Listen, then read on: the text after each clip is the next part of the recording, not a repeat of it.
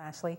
Well, George McInnes, an 11th grader at the Lucaya International School, is one of the finalists in the Grand Bahama Youth Film Competition. McInnes and four other students were selected for their Conversation in Grand Bahama short film that will be featured in the upcoming FLIFF Festival. My film is called Stranded, and it's about a boy who's riding in a boat in the ocean.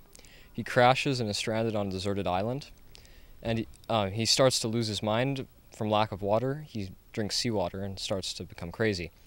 He then develops a relationship with a coconut um, and eventually is rescued. I was very excited.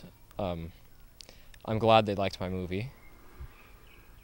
And I think I'll participate in the next one as well. McInnes says it took him a week to come up with a storyline for his short film and five hours to shoot on Peterson's Cay.